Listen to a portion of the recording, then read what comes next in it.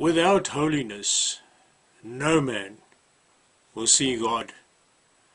God is holy, and if we want to come into His presence, we ourselves need to be pure and holy and without sin. No sinners will go into heaven.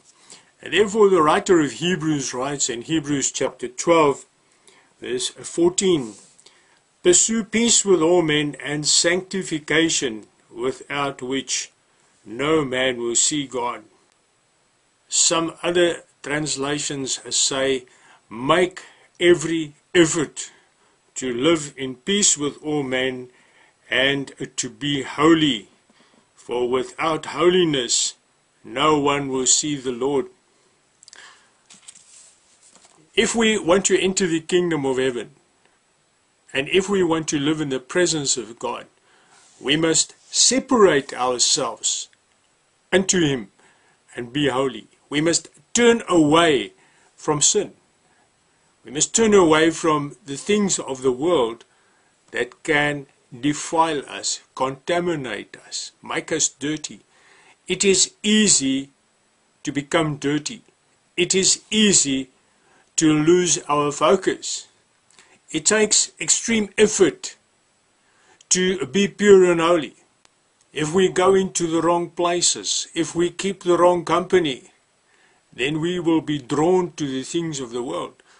So to be holy means that you separate yourself. You make every effort to stay away from anything that can take you away from God. You stop sinning. You break your ties with the wrong friends, even if it is your own family. Because you must decide whether you want to be a child of God or whether you want to end up in hell. All of us must make that decision because without holiness, no man will see God. You focus on Jesus and do those things that are pleasing to Him. You're not interested in the football game anymore. You don't drink beer with your friends. You don't watch TV. You don't allow filthy things before your eyes. You turn away from lustful things and those things that will take your focus off Jesus. And you keep yourself clean and pure. Or else you cannot come into the presence of God. Jesus said that those who are pure in heart, they will see God. If we are not pure in our hearts, we will not hear from God. We will not live in the presence of God. But if we purify ourselves of the defilements of the flesh, we keep our mind and our body pure and holy. This here is a temple of the Holy Spirit if we keep this temple clean, this, this body, then the Spirit of God comes and lives in us and He reveals Himself to us. But if we allow filth and the devil in here, we have no relationship with Jesus and we don't receive revelation from God because we don't seek it. If we are not pure and holy, we will not hear the voice of Jesus we will not have a relationship with Him. And He will turn us away. He will say to us one day, Go away, I never knew you. Without holiness, no man will see God. Whoever wants to be a friend of the world makes himself an enemy of God. We need to turn away from those things. Don't go along with those things.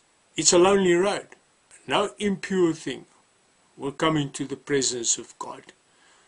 We have to now already live in the presence of God through the Holy Spirit living in us. Or else we will not go into heaven, we will not have eternal life. We must be pure and holy to have a relationship with Jesus. We must seek that relationship all the time. It takes extreme effort.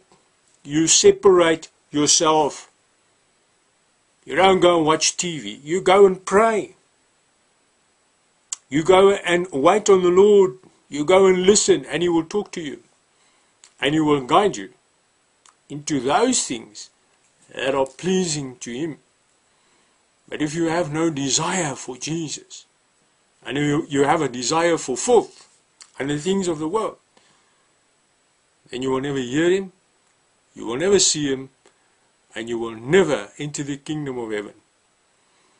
There's no salvation for those who are impure, for those who love the world and who indulge in sin.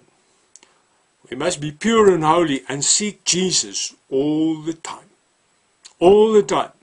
We must reserve ourselves unto Jesus. If we seek Him, we will find Him. He is the way, the truth, and the life. Without Him, there is no life. May Jesus bless you.